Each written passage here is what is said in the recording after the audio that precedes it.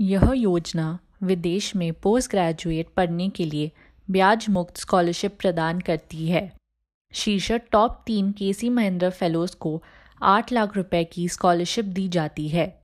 बाकी सफल आवेदकों के लिए चार लाख रुपए की स्कॉलरशिप दी जाती है। इस स्कॉलरशिप के लिए आवेदकों को किसी मान्यता प्राप्त विश्वविद्यालय से प्रथम श्रेणी की डिग्री या समान मानक के समक्ष डिप्लोमा होना चाहिए। जिन्होंने प्रवेश प्राप्त किया है या प्रतिष्ठित विदेशी विश्वविद्यालयों में प्रवेश के लिए आवेदन किया है, उन्हें भारतीय भी होना चाहिए।